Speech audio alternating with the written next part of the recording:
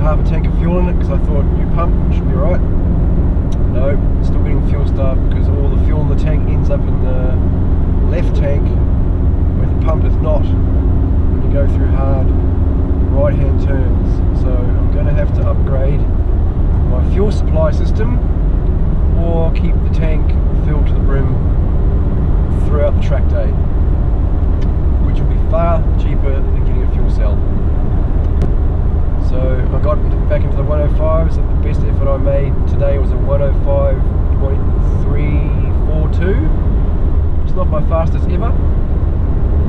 but it's fast enough for uh, end of season points.